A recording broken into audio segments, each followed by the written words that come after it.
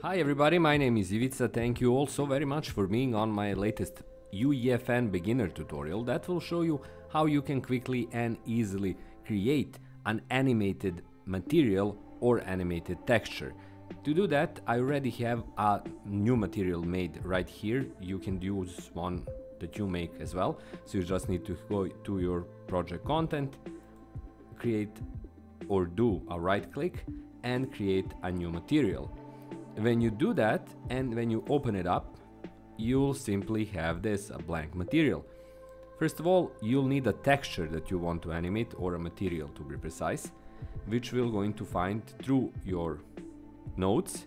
When you left click, you simply go for texture and here you have texture sample. Now we're going to choose a texture from existing ones. Here, if you go to the drop menu, we'll go and take this frozen cliff. As you can see, it's kind of a combo of blue and purple, which we're going to connect to our base color. Here it is. Now we're going to animate it and to do that we're going to add a panner node. So simply search for panner. Here it is, are the coordinates. And as you can see it has speed, coordinates.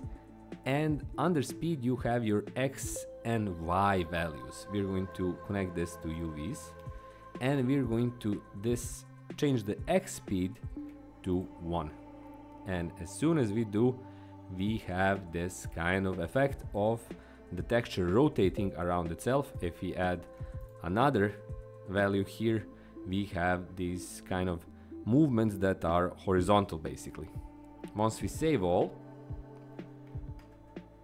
and close our nodes or close our material editor we have the same animated texture so we're going to add it to show you how it looks like we're going to add a simple shape, in this case a cube. I'm going to move it here. I'm going to resize it. And now I'm going to add my material over it. And as you can see, it's immediately animated. It's moving, its other instances are also animated and that's how you can create a range of animated, simple animated materials for UEFN levels that you're working on. That's it for this tutorial, hopefully you found it useful, hopefully you found it interesting. If you did, please consider supporting me. You have my Patreon page, you have my channel memberships, you have my books on Amazon, including my latest book, which is a novel, Sons of 901. All of those are present in the description below, the links more precisely, so do check them out. But if you want to subscribe and be here for my new videos, that would also be really cool. So leave a like, leave a comment if you have any questions, and subscribe so you can check out my new clips. That's all from me, my name is Ivica, thank you so much for watching, have a great day and have loads of fun in your UEFN projects. Until my next tutorial, bye bye.